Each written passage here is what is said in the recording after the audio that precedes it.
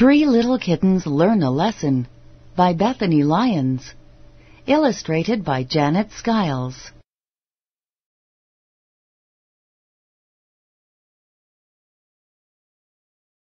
Mr. Do-Right. Hello, I am Mr. Do-Right. Welcome to my TV talk show.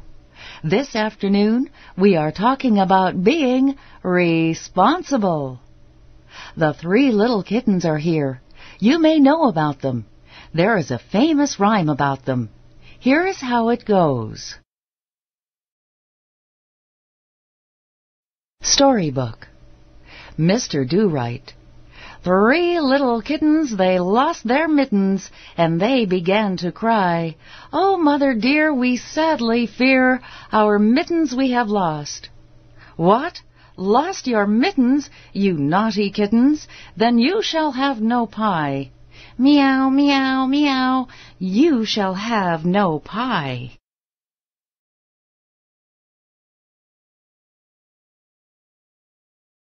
Kittens. Mr. Do-Right. Let's talk to the kittens. We will ask them what happened to their mittens. Everyone claps. Mr. Do-Right. How did you lose the mittens? Kitten 1. We took them off when they got muddy. Then we chased some rats, and we forgot about our mittens. Kitten 2.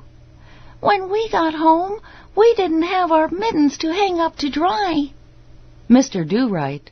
What did your mother do? Kitten 3. She said we couldn't have pie. We should have taken better care of our mittens.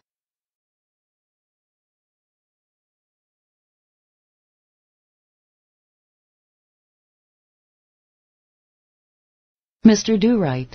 The rhyme also says, The three little kittens, they found their mittens. Tell us about that.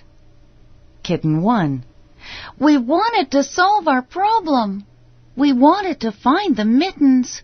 We went back to the playground. The mittens were there, on the ground. Mittens. Kitten 2. Then we went home and washed our mittens. It was important to show Mother that we would try harder to take care of our things. Mr. Do-Right. What did your mother do? Kitten 3. She was pleased or happy with us. Then she let us eat some pie.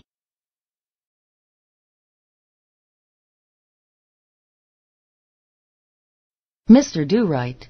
What did you learn from this? Kitten 1. Take care of your things. Kitten 2. Solve problems yourself. Kitten 3. Do the right thing. Mr. Do-Right. Those are important ideas. Thank you and goodbye.